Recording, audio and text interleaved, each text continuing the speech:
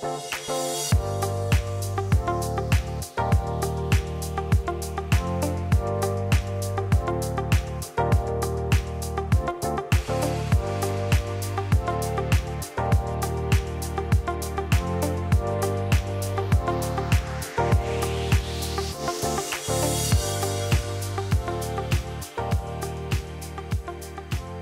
there, Hillary here for Waterlogged on behalf of saltwateraquarium.com. It's been a while since I've done an update on my Red Sea tank, and since it's been about six months, I figured I would give you a six month update. I'm gonna talk in this video about some of the fish that I've added, the corals that I've added, the invertebrates that I've put in here. I'm also going to discuss some of the issues that I've had with the tank, um, things that have come about because of those issues, and of course, how I've dealt with them. I'm also gonna go over a few of the things that I've changed with the system since I've made the previous videos, and of course, I'm gonna let you know what you can expect to see in the future. So let's get started talking about the fish that I've added to the tank. Um, in one of my previous series, you might have seen, I did a video um, talking about ORA, going to visit, and then we did an unboxing video. And probably due to my excitement, you really didn't get to see that much of the fish that I got. But one of the fish that I added to this tank was a white spotted filefish.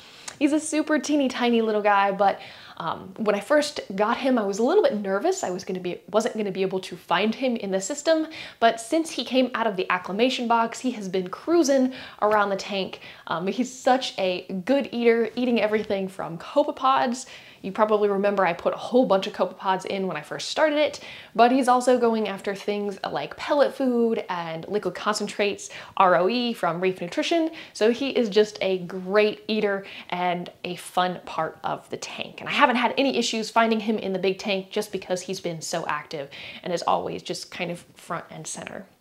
Now the other fish that I added was a clownfish. I worked with Donna at ORA and her and the team hooked me up with the coolest little hybrid storm clownfish. Now, if I'm honest, I really wasn't a huge fan of clownfish. Yes, I have them in my tanks, but they were by no means my favorite. Since I've added the clownfish to this tank, I gotta say he has quickly become one of my favorites from his colors and his pattern and his personality is really just absolutely amazing in the tank. From the moment I put him in here, he really has brought the tank to life. All of the other fish seem to be out and active significantly more than they used to be in the past, so that is a wonderful thing to see and I am thoroughly pleased with the fish that I've gotten from ORA. If you haven't considered getting some fish from them, I would definitely, definitely encourage it. So that is the fish that I've added to the tank. What about the coral, right? Um, so I went to Reefapalooza Dallas, that was the last show of the year, and there I picked up a peanut butter and jelly acan, or you might call them a microlord. I really like the colors of that one. It is pretty cool. And since then, I also added a handful of other gorgeous rainbow microlords, or you might again call them acans. They are absolutely stunning. Those came from Carolina Aquatics. Thank you so much to Chris. And I gotta say, they are probably the nicest corals that I've ever had the privilege of taking care of in a home tank, so I can't wait to watch them grow. In terms of growth, I've actually seen growth. I've got a couple, um, two or three new mouths on one of them already, so it's pretty exciting to see them having growth within just a month, month and a half of being in my tank. So you know that's a sign of a good healthy tank when you have growth um, in your fish, in your corals, and just happy, good water quality. Now, everything hasn't been rainbows and sunshine as you would expect with any fish tank that you are taking care of, and this is true with all of the other tanks that I've ever had. At some point you go through the uglies, and with the cycling Red Sea method, it did go through a very short, quick phase of the uglies, and it came and gone very early on. However, um, earlier this fall, I actually dealt with a case of dinos to the point that my tank was very cloudy a lot of the time. In the mornings, first thing before the lights came on, it would look gorgeous. The sand bed was white and it just, it looked such a pretty tank. But as the day would progress, there would get to be bits of brown algae, stringy stuff with bubbles kind of coming up off the rockwork and the sand bed, and it was just not an attractive thing. Every time I would try and do a water change, I would cause a bacterial bloom that would cloud up the water. And so for a while, I was actually afraid to do anything at all at the risk of causing harm to the fish that were in the tank.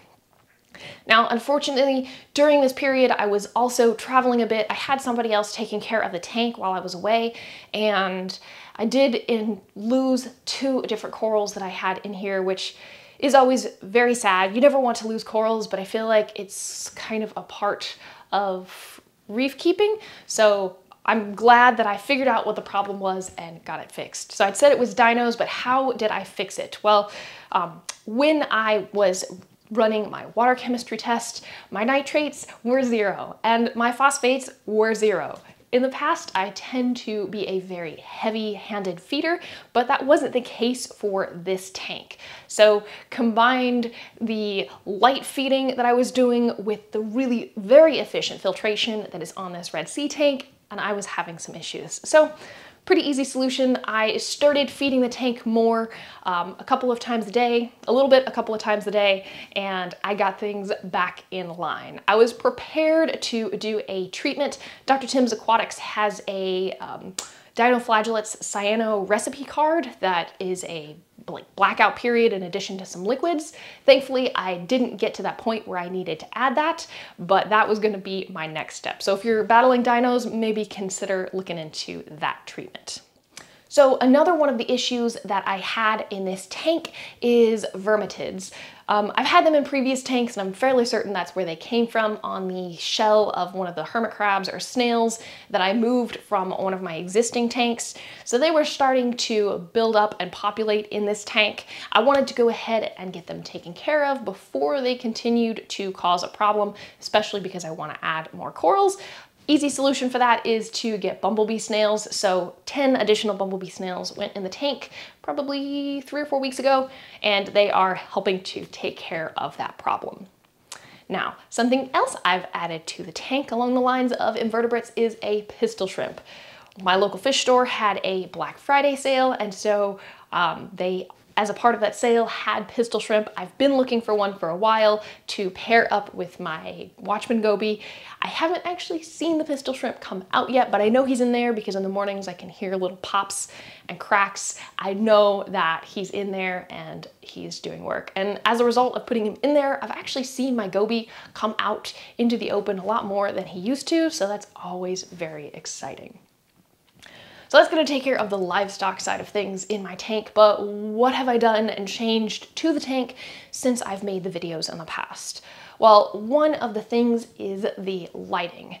Um, when it was just the fish, I wasn't really concerned with the lighting, and then I started having all of the issues with the algae, so I pulled the lights way back down from what they were. When I say way back down, I mean like 10, 15% power um, and slowly started increasing it. And then I added corals.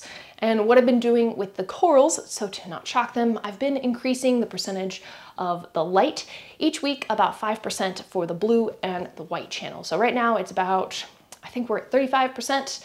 I don't need the lights to go up to full strength. I've already told you these corals are doing great. They are um, opening up completely, they're growing, so they're happy. I don't wanna do any quick changes with them. I'm very happy with how things are running. Another change I have made to this tank is in regards to the skimmer.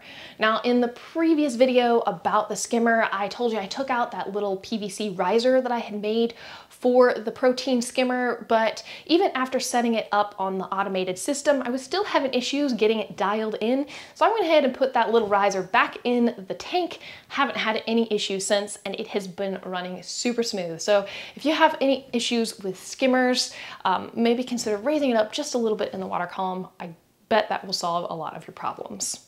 Now something else that I've done with the skimmer, and this was kind of in regards to the um, dino issue, is that I have it on a schedule and I don't leave it running all of the time. Because it's so efficient, that combined with the filtration that's already in here, I wanna make sure that I'm leaving some of those nutrients in the tank so I don't have dino problems again.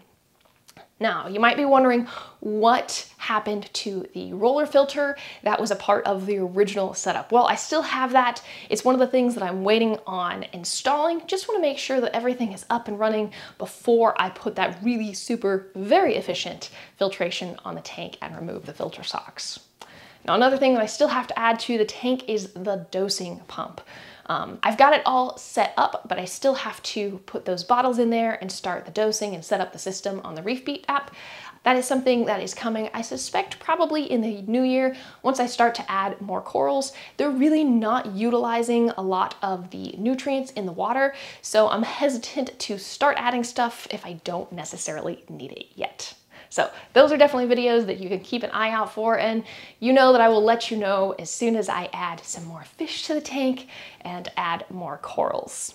I hope you have enjoyed this video. I would love to hear how your fish tank has progressed and what your six month in fish tank looks like. All right, this has been Hillary for Waterlogged on behalf of saltwateraquarium.com. Thank you so much for watching and I'll see you next time.